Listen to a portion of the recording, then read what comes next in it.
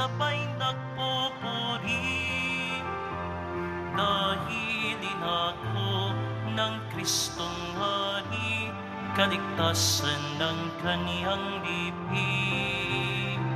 Sa kaniyang kinaluluklukan, dininig aming panambitan,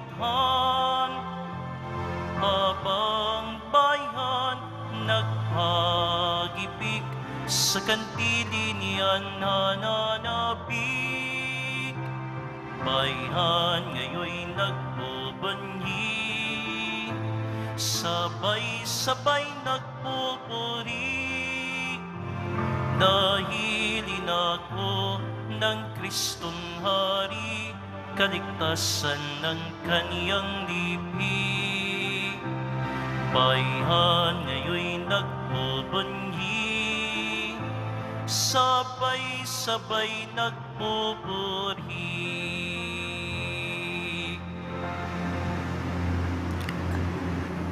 Sa ngala ng Ama at ng Anak at ng Espiritu Santo, Amen. sumainyo ang Panginoon. At sumayo rin.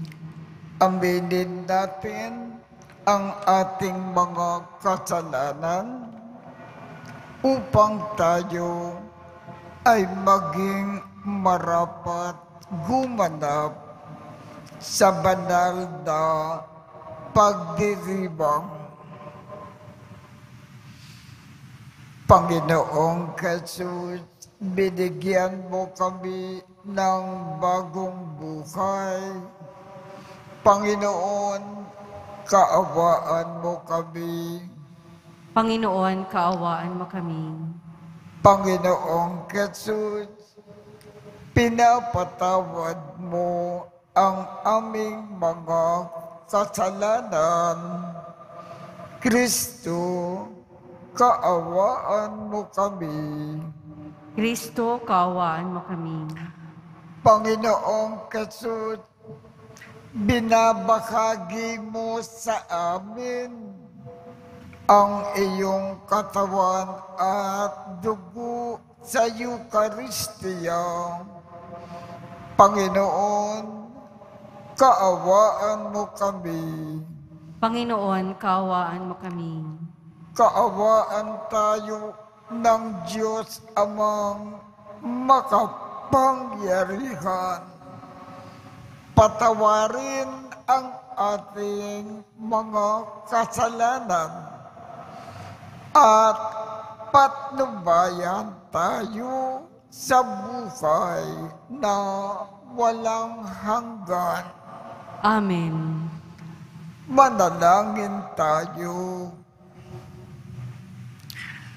Ama naming makapangyarihan, para mo ng awa na ilayo sa amin araw-araw.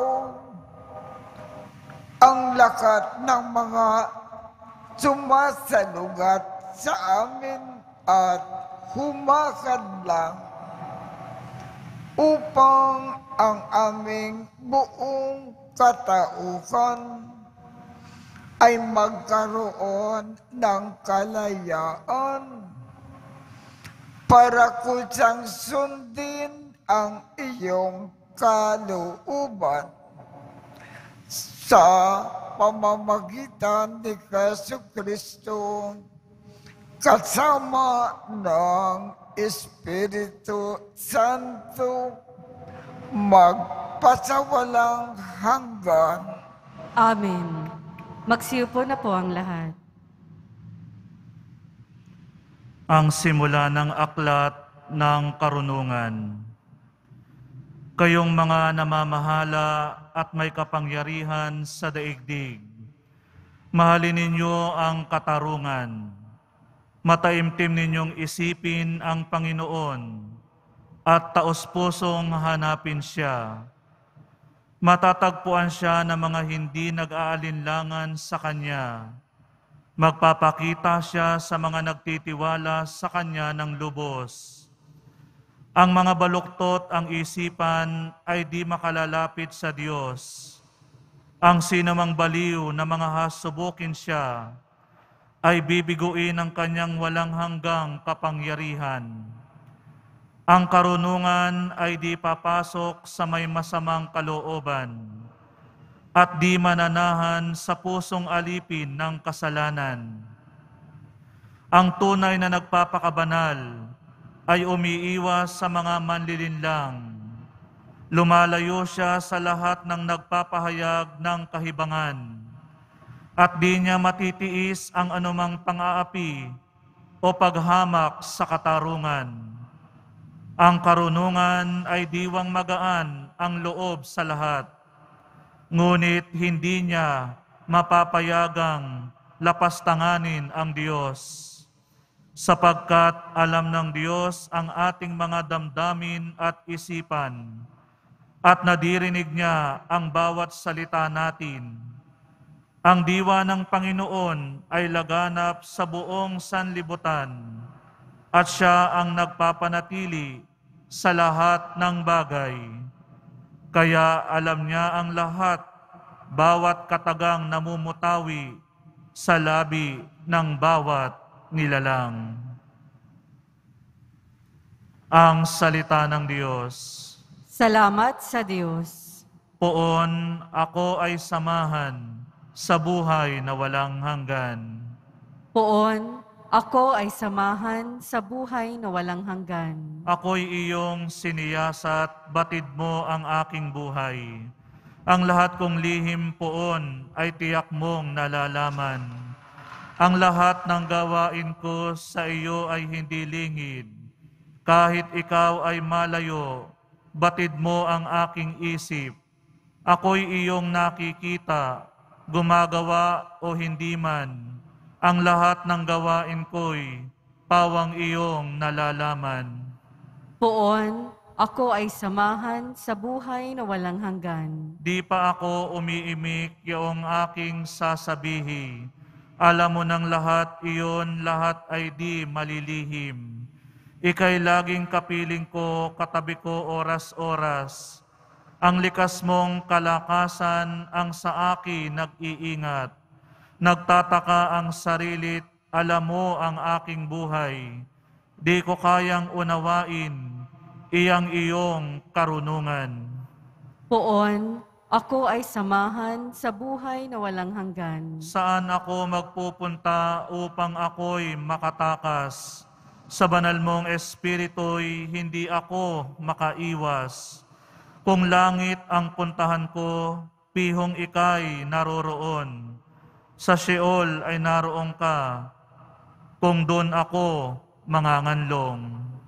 Poon, ako ay samahan sa buhay na walang hanggan. Kung ako ay makalipad, umiwas na pasilangan, o kaya ang tirahan ko'y ang duluhan ng kanluran.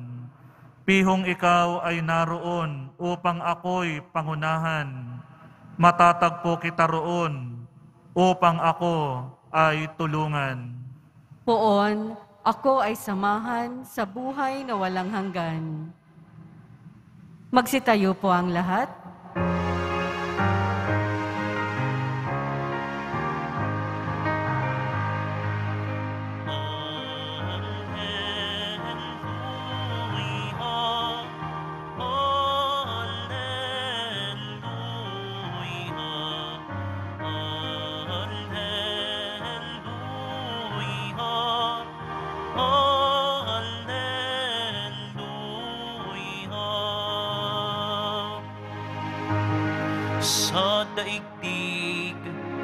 Ay laganap Liwanag na sumisikat. Salitang buhay ng lahat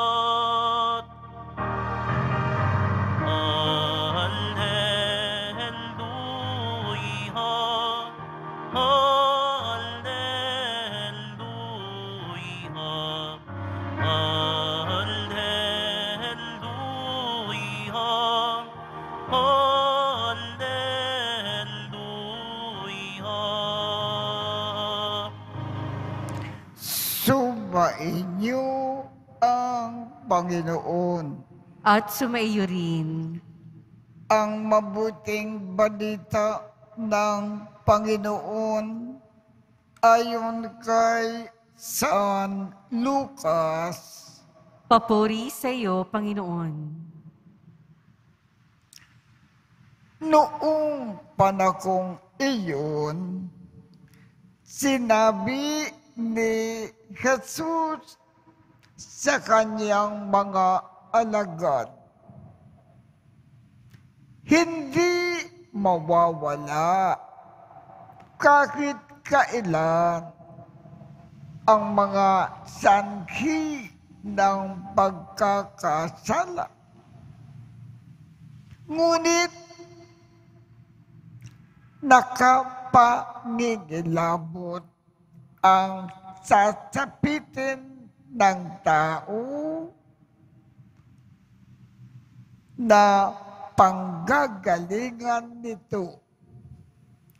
Mabuti pa sa kanya ang bitinan ng isang malaking gilingang bato sa liig at itapon sa dagat. Kaya maging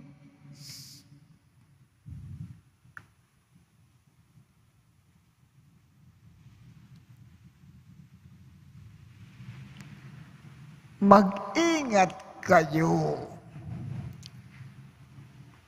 Kung magkasala ang kapatid mo, pagsabihan mo. At kung siya ay magsisi, patawarin mo. Kung makapito siyang magkasala sa iyo sa maghapon, at makapito ring lumapit sa iyo at magsabing, nagsisisi ako, patawarin mo. Sinabi ng mga apostol sa Panginoon, dagdagan po ninyo ang aming pananalig sa Diyos. Tumugon ang Panginoon kung maging sinlaki man lamang ng butil ng mustasa ang inyong pananalig sa Diyos, masasabi ninyo sa puno ng sikumurong ito, mabunot ka at matanim sa dagat at tatalima ito sa inyo. Ang mabuting balita ng Panginoon. Pinupuri ka namin, Panginoong Heso Kristo. Magsiyo po na po ang lahat. Sa ating ebanghelyo ngayong umaga, may dalawang paalaala ang ating Panginoon. Subalit, isang paalaala lamang ang ating pag-uusapan. Sabi ng Panginoon, iwasan natin na maging sanhi ng ipagkakasala ng iba. Papaano tayo nagiging sanhi ng ipagkakasala sa iba? Ilang halimbawa, mayroon kayong mga anak naging ugali ninyo na magmura lagi-lagi.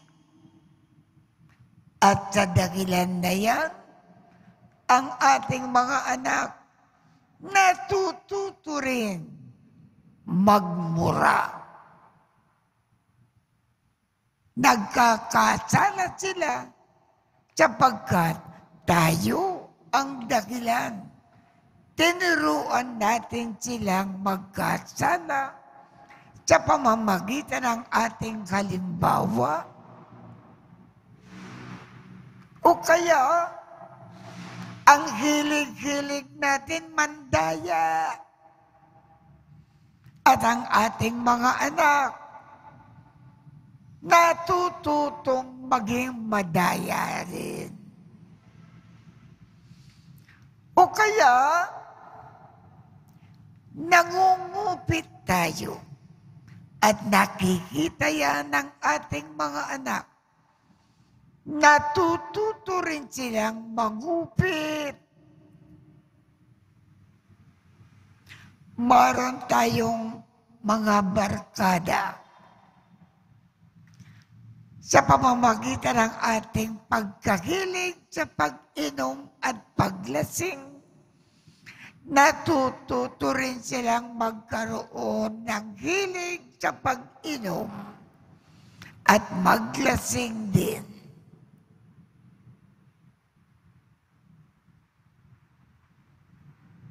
O kaya, nandudurog tayo at ang ating mga barkada napasubo rin sa pagdudurog sa pamamagitan ng ating kalimbawa. O kaya, marong kayong girlfriend o kaya boyfriend. Isinusubo ninyo ang inyong girlfriend o ang inyong boyfriend sa pre-marital sex.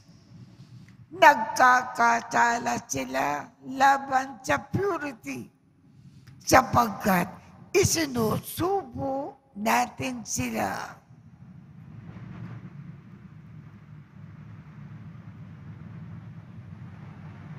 At marami pang halimbawa.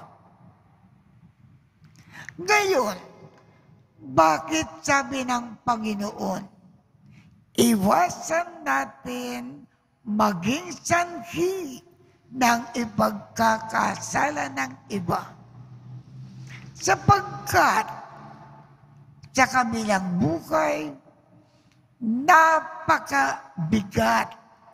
ang parusa ng mag- nagiging sanhi ng ipagkakasala sa iba.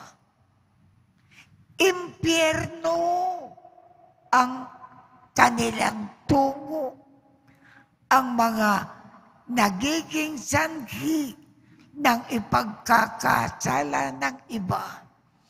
Kung naiwasan nila ang impyerno, magtatagal naman sila sa purgatorio ng maraming maraming taon.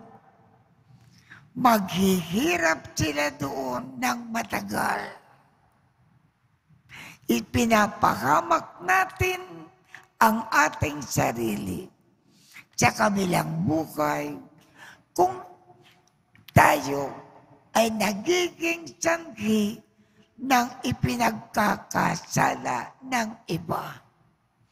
Kaya iwasan natin magbigay ng iskandalo.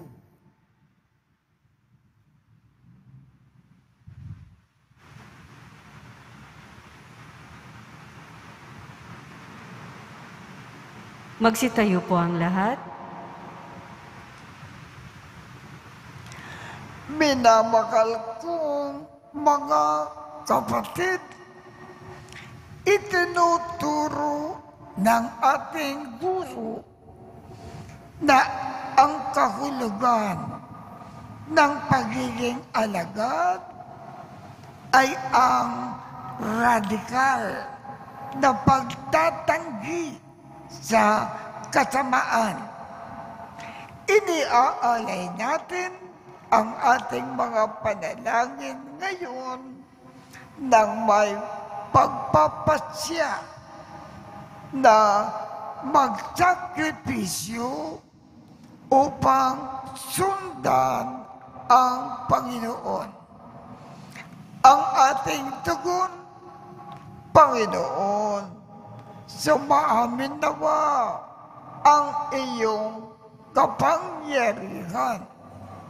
Panginoon, sumaamin nawa ang iyong kapangyarihan. Ang simbahan naway magwagi sa kanyang pagpupunyaging labanan ang kasamaan sa daigdig. Manalangin tayo. Panginoon, sumaamin nawa ang iyong kapangyarihan. Ang Kristiyanong sumasampalataya naway magkaroon ng tapang na magsalita at kumilos laban sa kasamaang sumisira ng ating lipunan. Manalangin tayo. Panginoon, sumaamin nawa ang iyong kapangyarihan. ang mga pinaging manhid na ng kasalanan, naway hipuin ng Espiritu ng Panginoon upang magbalik loob sila at magbago ng pamumuhay. Manalangin tayo.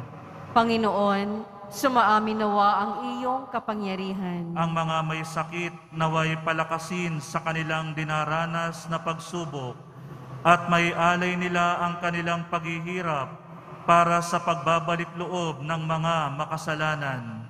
Manalangin tayo.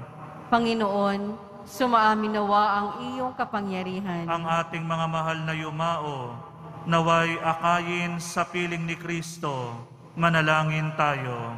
Panginoon, sumaamin nawa ang iyong kapangyarihan. Makapangyari kang Diyos, bigyan mo po kami ng matapang na pananampalataya upang maging malakas at matatag kami sa aming paglaban sa kasamaan ng mundong ito. Hinihiling namin ito sa pamamagitan ni Kristo na aming Panginoon. Amen. Magsiupo na po ang lahat.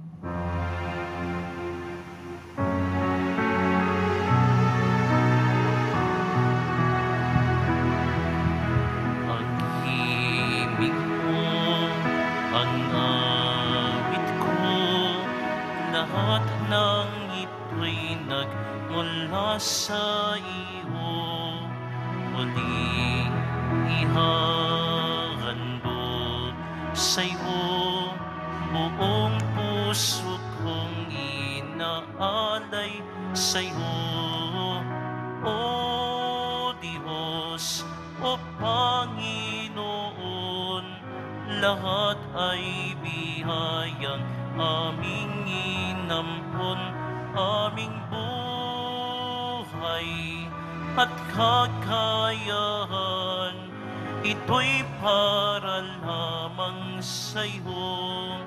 kaluwalhatian. Ito'y para lamang sa iyong kaluwalhatian.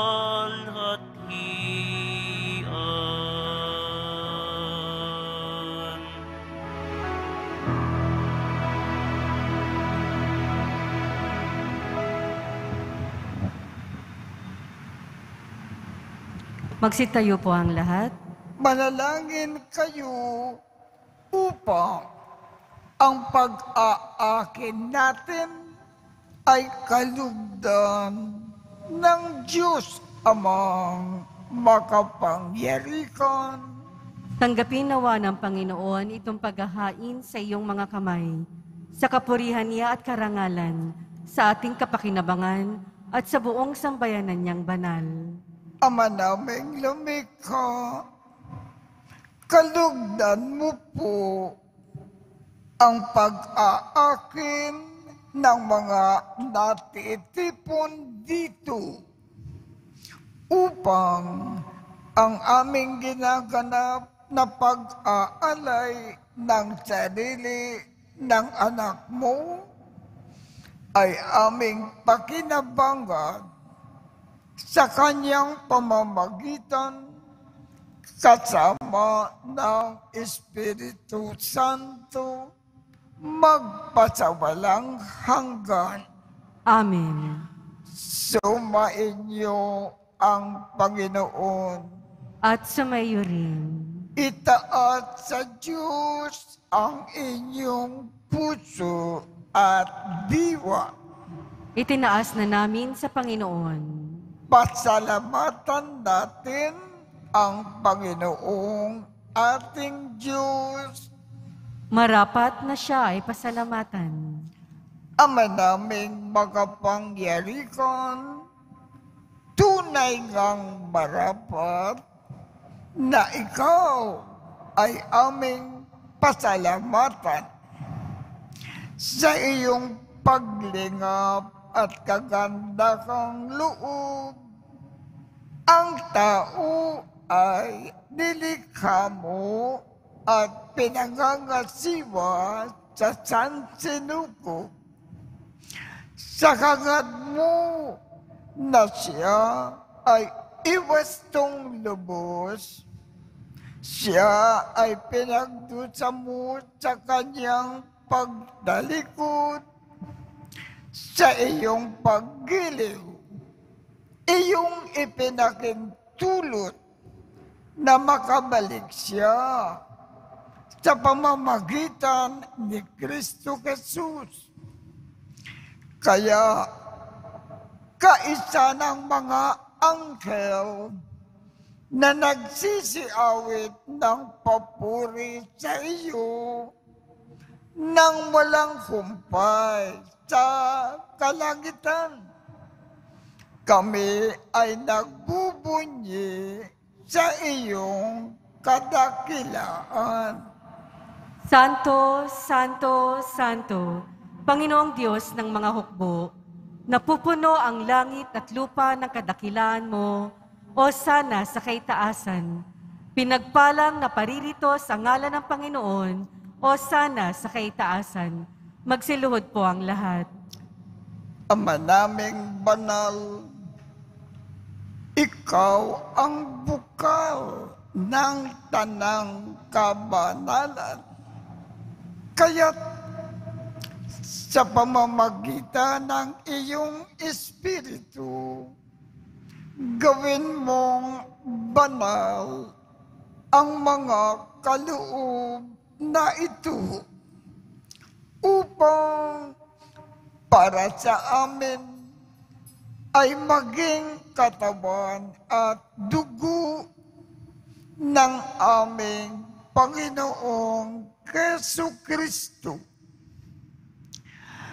Bago niya pinagtiisang kusang loob na maging handog.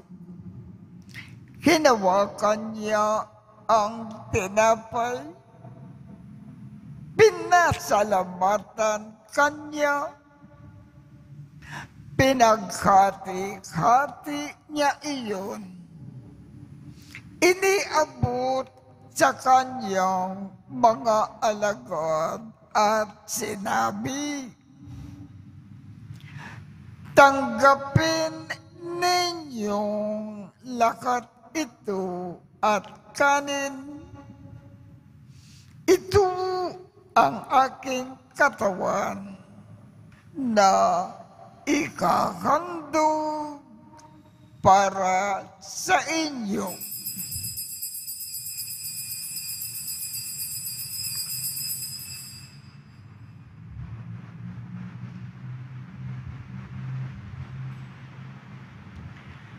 Gayon din naman, Noong matapos ang hapunan, hinawakan niya ang kalis, muli kanyang pinasalamatan, iniabot niya ang kalis sa kanyang mga alagad at sinabi,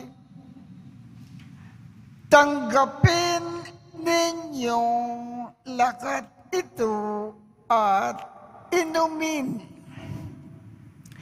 Ito ang kalis ng aking dugo ng bago at walang hanggang tipan. Ang aking dugo na ibubuhos para sa inyo at para sa lahat sa ikapagpapatawad ng mga kasalanan. Gawin ninyo ito sa pag-alaala sa akin.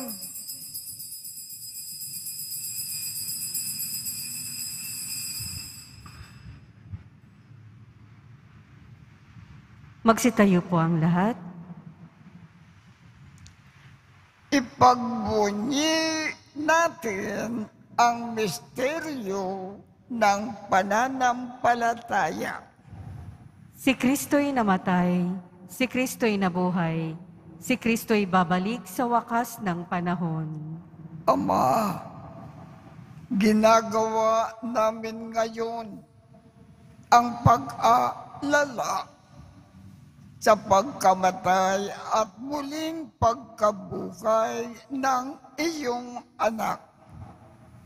Kaya't iniaalay namin sa iyo ang tinapay na nagbibigay buhay at ang kalis na nagkakaloob ng kaligtasan.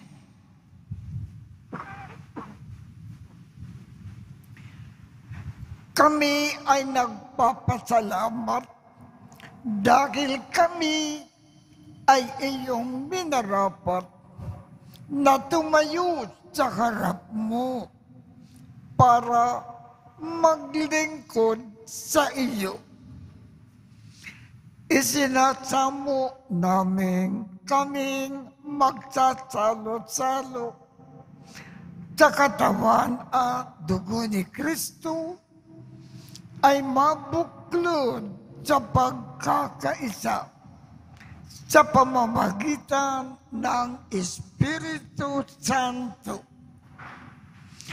Ama, lingapin mo ang iyong simbahang laganap sa buong daigdig.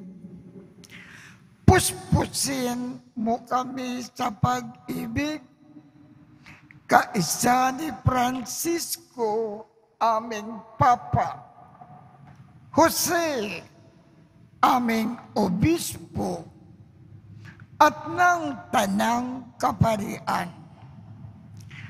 Alalakanin mo rin ang mga kapatid naming nakimlay nang may pag-asa na sila ay muling mabubuhay.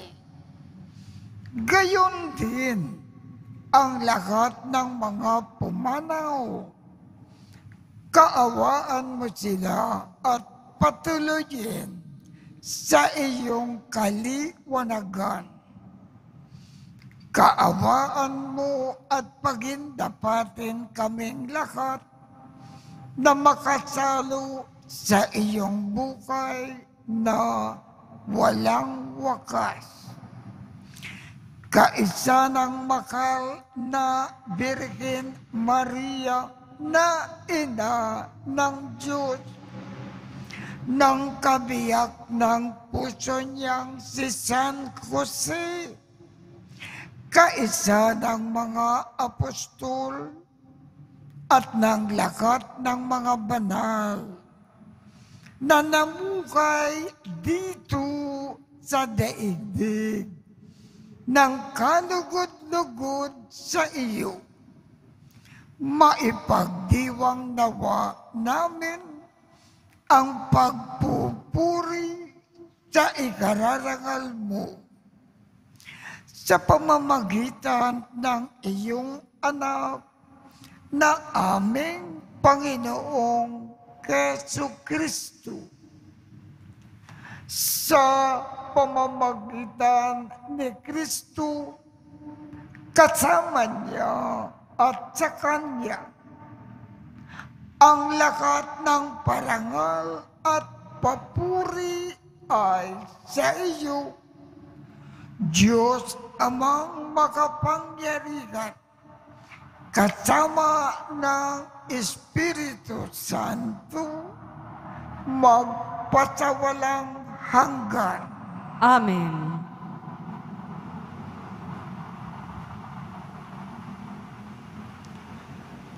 sa tagubilin ng mga nakagagaling na utos at turo ni Jesus na Panginoon natin at Diyos, ipakayag natin ng lakas loob. Ama namin, sumasalangit ka, sambakin ang ngalan mo, mapasa amin ang kaharian mo. Sundin ang loob mo dito sa lupa para nang sa langit. Bigyan mo kami ngayon ng aming kakanin sa araw-araw. At patawarin mo kami sa aming mga sala para ng pagpapatawad namin sa mga nagkakasala sa amin. At huwag mo kaming ipahintulot sa tukso at iadya mo kami sa lakat ng masama. Hinihiling namin, Ama, iadya mo kami sa lahat ng masama. Pagkalooban kami ng kapayapaan sa araw-araw. Iligtas sa kasalanan at ilayo sa lakat ng kapakamakan. Samantalang aming pinananabikan ang dakilang araw ng pagpapakayag ng tagapagligtas namin si Heso Kristo. Sapagkat iyo ang kaharian at ang kapangyarihan at ang kapurihan magpakailanman. Amen. Panginoong Heso Kristo, sinabi mo sa iyong mga apostol, kapayapaan ang iniiwan ko sa inyo. Ang aking kapayapaan ang ibinibigay ko sa inyo. Tungkayan mo ang aming pananampalataya at huwag ang aming mga pagkakasala. Pagkalooban mo kami ng kapayapaan at pagkakaisa ayon sa iyong kalooban kasama ng Espiritu Santo magpasawalang hanggan. Amen. Ang kapayapaan ng Panginoon ay laging sumainyo. At sumaiyo rin. Magbigayan tayo ng kapayapaan sa isa't isa.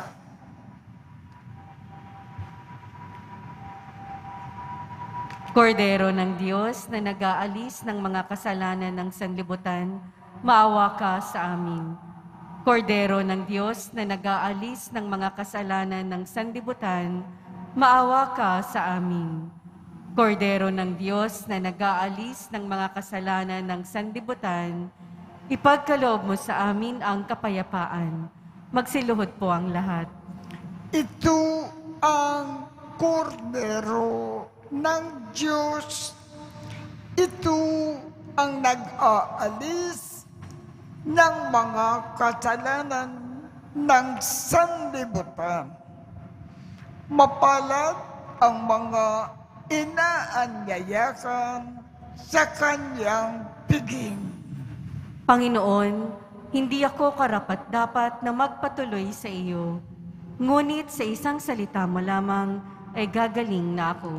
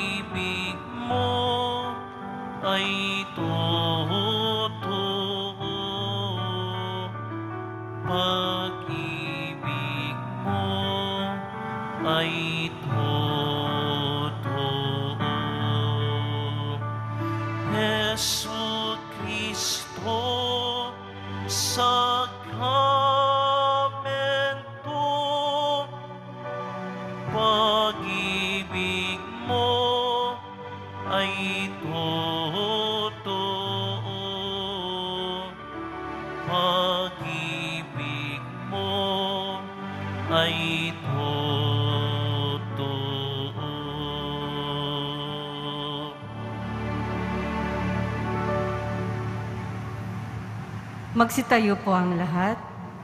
Manalangin tayo. Ama naming mapagmakal, tinatanaw namin na utang na loob ang banal na pakikinabang at inilulugog namin na ang Espiritu Santo ay mag-umapaw. Sa kalooban namin na kanyang tinitigib ng iyong kadakilaan upang ang iyong kagandakang loob ay manatili sa amin ng palagian sa pamamagitan ni Yesu Kristo kasama ng Espiritu Santo magpasawalang hanggan. Amen. Mga kapatid, ating ipagdasal ang ating mga minamakal na yumao at ang lakat ng mga kaluluwa sa purgatorio. Panginoon naming Diyos, Ama namin, Ikaw po ang dahilan ng aming pagsilak. Sa iyo galing ang aming kiram na buhay. Buong kababaang loob po kaming nananalangin at kami ay nagmamakaawang kalugdan po ang mga kaluluwa ng mga pumanaw na sa mundong ito Sila nawa ay magkamit ng buhay sa iyong piling. Alisin mo po ang anumang mga karumikan ng kasalanan upang sila ay maging marapat sa iyong walang hanggang kalinisan. Iakon mo po sila mula sa purgatorio at bigyan ng puwang sa iyong kaharian sa langit. Kapayapaan kailanman ang igawad ng may kapal sa mga yumaong nagsipanaw. Sila naway silayan ng iyong ilaw na walang hanggan. Amen. Mapanatag nawa sila sa kapayapaan. Amen.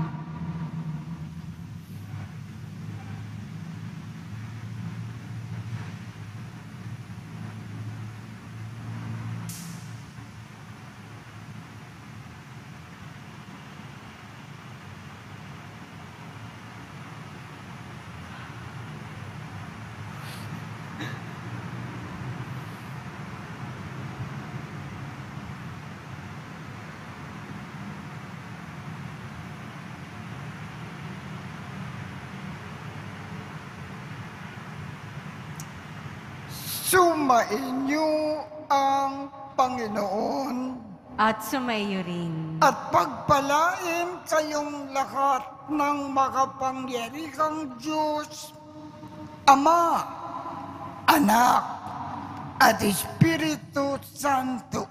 Amen. Tapos na po ang misa. Humayo tayong mapayapa. Salamat sa Diyos.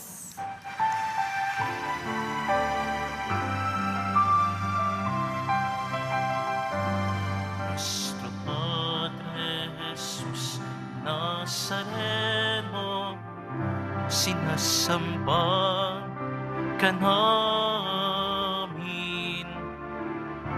Pinipintuho ka namin.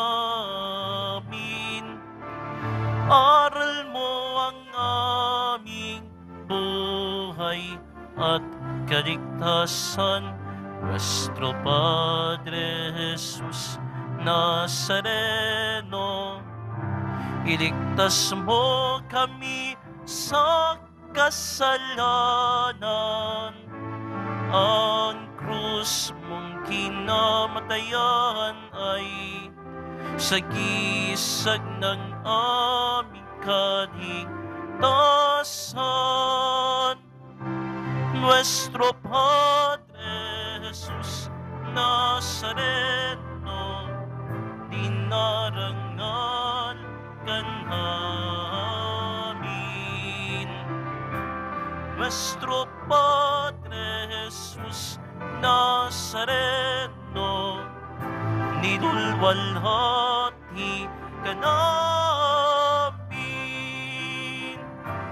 Nuestro Padre Jesus Nazareno, dinarangal ka namin. Nuestro Padre Jesús Nazareno, nilulwalhati ka na.